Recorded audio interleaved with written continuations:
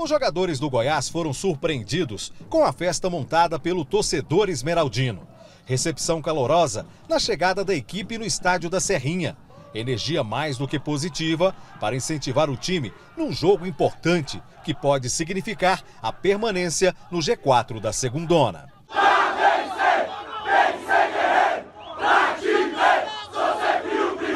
Na briga para voltar à elite do Campeonato Brasileiro, o Goiás tem pela frente um adversário difícil que também está na disputa pelo acesso. E ao contrário da equipe esmeraldina, que não vence há cinco jogos, o CSA de Alagoas não perde há seis partidas. Mas nesse confronto direto, o time goiano jogando em casa tem a vantagem, ainda mais com o apoio que vem lá da arquibancada.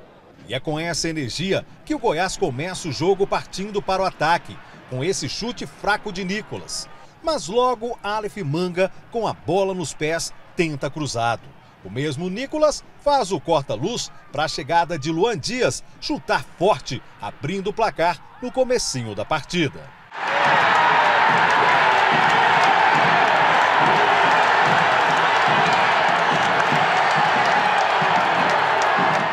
O jogo fica mais movimentado, com o CSA no ataque buscando o empate.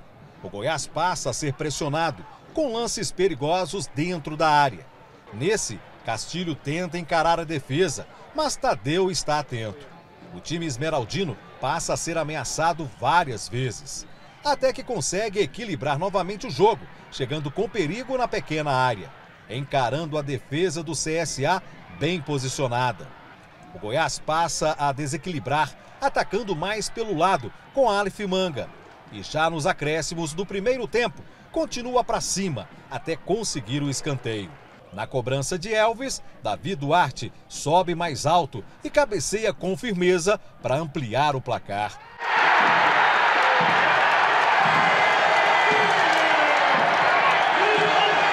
O jogo recomeça com as duas equipes indo para cima. Renato Cajá na cobrança de falta, que Tadeu coloca para fora. E na bomba de Aleph Manga, obrigando a defesa de Lucas. Até que nessa cobrança de lateral, a bola sobra para Elvis, que de longe vê Hugo livre na esquerda. O meio-campo pega de primeira e faz o terceiro do Goiás.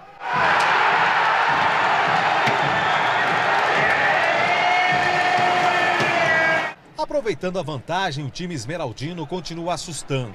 Alf Manga até que insiste em cima da defesa, mas o chute sai fraco. E nessa desatenção do time esmeraldino, Renato Cajá chuta forte da entrada da área. A bola sobra para Dela Torre ajeitar e diminuir. 3 a 1.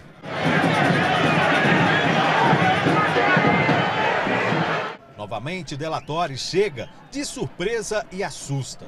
A partir daí, o Goiás administra a partida, se fecha na defesa, marca a saída de bola e garante a vitória folgada em cima dos alagoanos. E tudo isso aconteceu com a energia positiva do torcedor, que empurrou o time antes, durante e depois do apito final.